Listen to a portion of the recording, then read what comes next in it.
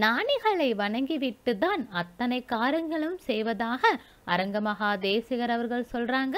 வாங்க என்ன சொல்றாங்கன்னு கேட்கலாம். ஓம் ராமலிங்க சாமிகள் திருவடிகள் போற்றி. ஓம் ராமலிங்க சாமிகள் திருவடிகள் போற்றி. ஓம் மாணிக வாசகர் திருவடிகள் போற்றி. ஓம் மாணிக வாசகர் திருவடிகள் போற்றி. ஓம் மாணிக வாசகர் திருவடிகள் போற்றி.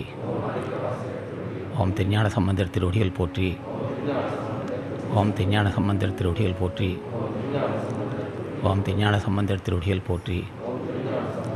ஓம் திருநாவுக்கரசர் திருவடிகள் போற்றி. ஓம் திருநாவுக்கரசர் திருவடிகள் போற்றி. ஓம் திருநாவுக்கரசர் திருவடிகள் போற்றி. ஓம் பதஞ்சலி முனிவன் திருவடிகள் போற்றி. ஓம் பதஞ்சலி முனிவர் திருவடிகள் போற்றி. ஓம் பதஞ்சலி முனிவர் திருவடிகள் போற்றி. ஓம் கரூர் தேவர் திருவடிகள் போற்றி.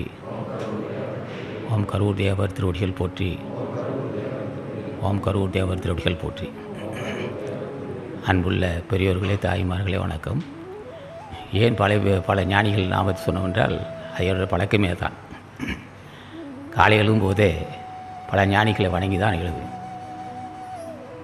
ஒவ்வொரு நாளும் பல மகான்களை திருமலை தேவன் காலைக்கநாதன் போகன் கரூர் போகர் கரூர் முனிவர் புலிபாணி சட்டைமணி சண்டீசர் சிவாக்கியர் கொங்கணர் இடைகாட்டர் கோரக்கர் ரோமரிஷி புஜன மகரிஷி தூர்வாசர் கௌதமர் கலிகோட்டு முனிவர் இது போன்ற மகான்களை கூப்பிட்டு அழைத்து தான் விழுந்து வணங்கி தான் வெளியே வருவோம். நான் வெளியே வரும்போது நில்லுன்னா நின்னாகணும் நான் ஒரு ஒரு அடிமை நான். புறப்படுவோம். நில் அப்படிங்க பேச்சே இருக்காது. கதை முடிவிட்டு போய் உள்ளுக்கு உட்காந்து தியானம் செஞ்சாகணும் அப்படி ஒரு குத்தடிமை போன்றவன் நான். இது நோக்கம் சத்தை நிலைநிறுத்திக் கொள்வதாகும்.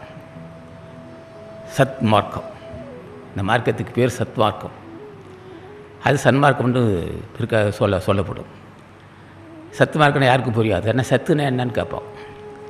சத்து என்பது உள்ளே இருக்கிற அரிசி. அசத்து என்பது உமி. இப்போ நம்ம அரிசியை சேகரிக்க வேணும். உமியை சேகரிக்க முடியாது. அப்போ சத் சத் அசத்து என்பது நெல் கலந்த நெல் என்று பொருள். சத்து அசத்து என்பது நெல். சத்து என்பது அரிசி. அப்போ அரிசியை நிலையப்படுத்திக் கொள்ளணும். ஞானிகள் அத்தனை பேர் என்ன செய்தார்கள்? அரிசியை உறுதிப்படுத்தி கொண்டார்கள். அரிசி என்பது உள்ளுடம்பாகும். அந்த உள்ளுடம்பை நிலைப்படுத்தி கொண்டவர்கள் தான் மரணமில்லா பெருவாள் பெறுவார்கள். அந்த வாய்ப்பை தருவது தான் ஜீவகாரணி ஒழுக்கமாகும். அன்பர் குமரன் அவர்கள் பத்து புத்தக பத்து பக்கத்தை பாராயணம் செய்தார்கள். அவரையும் அவர் குடும்பத்தாரையும் பார்த்துக்கிறோம். அப்போ இந்த மார்க்க இந்த ஏன் இந்த இந்த இது நூல்கள் படிக்க வேண்டிய அவசியம் என்னன்னா சத் மார்க்கத்தை சத் விசாரம்னு வரும். அப்போ சத் விசாரம்னா ஆராய்ந்து ஆராய்ச்சி ஆராய்ச்சி கொண்டே போக வேண்டும். அப்போ அது எ- எங்கே போய் எங்கே போய் முடியும் என்றால் அசுத்தம் நீங்கி வரும் அசுத்தம் அசுத்தம் நீங்கி வரும் சத்து நிலைப்படுத்திக் கொள்ளும். ஆசானது அருளுரைகளை தொடர்ந்து கேட்க அரங்கர் டிவிக்கு லைக் பண்ணுங்க சப்ஸ்கிரைப் பண்ணுங்க. மறக்காம பெல் பட்டனையும் கிளிக் பண்ணுங்க.